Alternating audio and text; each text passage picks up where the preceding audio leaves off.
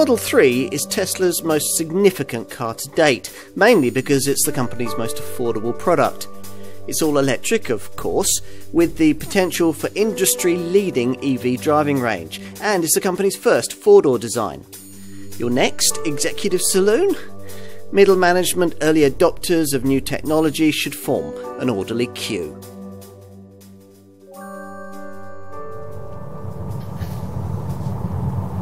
Previously, we've reviewed Tesla products as EVs. It's a measure of the importance of this one that we have to judge it by more conventional standards, as you would if you were considering it as an alternative to the BMW 3 Series, the Mercedes C Class, or the Audi A4 mid sized executive saloons that it wants to target.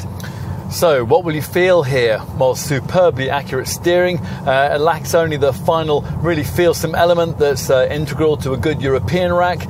A very well modulated set of brakes, quite a lot of tyre and wind roar, and firmish damping, which contributes to excellent body control through the turns, uh, but doesn't crash too much through potholes or over speed humps. Uh, you could actually enjoy yourself driving this car, and that's a new experience for us in an EV and for anyone else familiar with this evolving market. The smooth linearity of the throttle helps, although it is still prone to lurch the car forward like a startled rabbit if it's used without due care. If you were to mash it into the bulkhead of this top performance spec variant, you'd reach 60 miles an hour in just 3.2 seconds. Forget M3s and C63s, that is Ferrari fast. This performance derivative is one of the two top dual motor all wheel drive Model 3 variants, the other being the long range version. That name designates that car's industry leading WLTP rated 348 mile driving range. Uh, for the performance model, the figure is 329 miles. You'll manage a little less than that though if you opt for the much more affordable Standard Range Plus Model 3 that the majority of customers are expected to choose. Here, a single motor rear driven setup gives you a 254 mile WLTP rated driving capability between charges. If that mileage needs to be covered over long highway distances, you'll appreciate the extent of this car's autonomous driving capability, and that is courtesy of its integrated autopilot system, which uses eight cameras, 12 ultrasonic sensors, and the forward facing radar.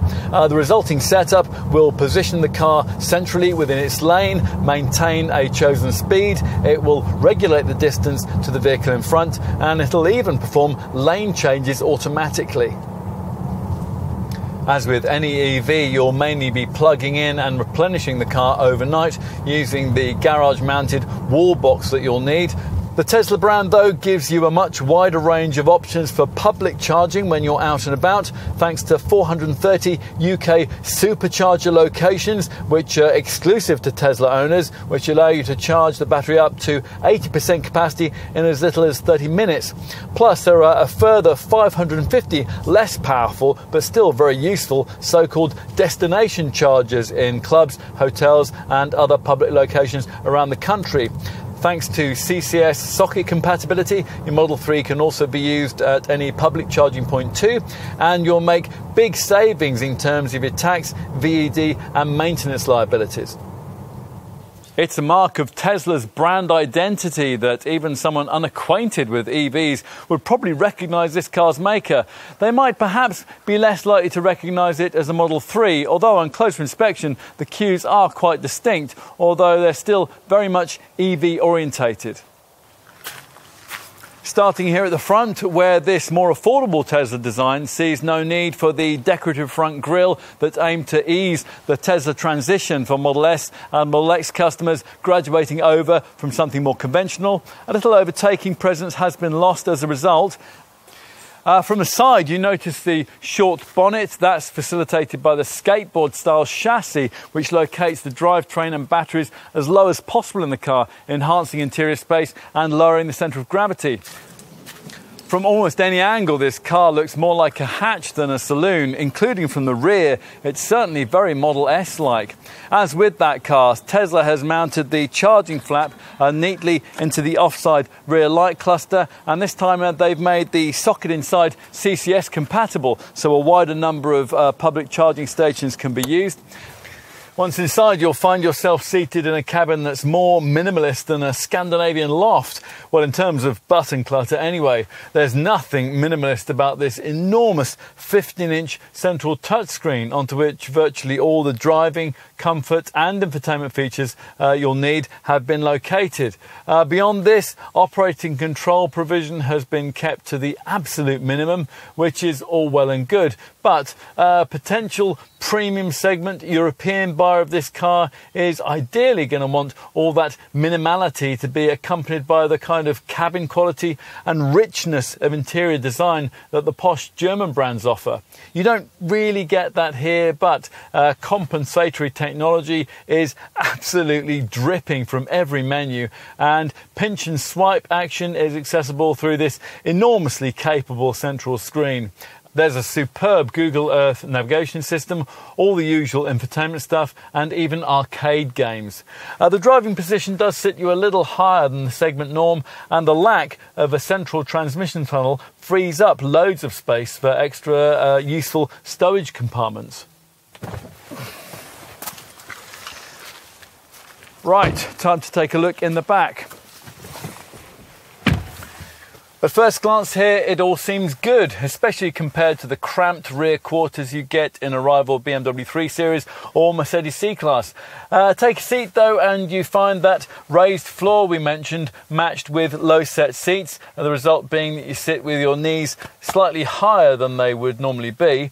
Uh, once you adjust to that though, you'll find that legroom isn't bad. Um, one six footer can just about sit behind another, thanks in part to these uh, scalloped seat backs here, although the fact that you uh, can't slide your feet under the seat in front is something of a limiting factor.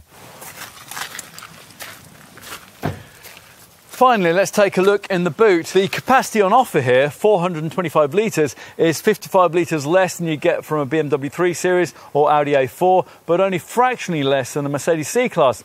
Anyway, it's a good, square, usable space with a recessed area on the left and a deep well under the cargo base for the charging leads uh, that could also take other small items that you might not want sliding around on the boot floor.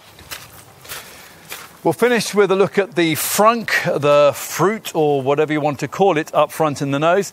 Now, it can't quite swallow suitcases like the one in the Model S, but its 117 litre capacity is probably good for a couple of small squashy bags. A lot of people have a lot to say about Tesla and its co creator Elon Musk. Here, though, our job is to talk about the cars it makes, specifically this one, which has caused the brand more headaches than any other in its history but then perhaps you would expect that. It's one thing to build relatively low volume cars that sell in the 75 to 125,000 pound bracket, but it's quite another to make one for the volume market where per unit profits are lower and product scrutiny much greater. The Model 3 is that car, and on initial inspection, we think the signs here are good. You would have to like the cool pared back image of the Model 3 to want one, and you'd have to be forgiving of a few idiosyncrasies. But if none of that matters, then you'll find that what's on offer here is just as significant as it is ambitious. You'd expect that from the car that some said Tesla could never build, but it has, and you should try it.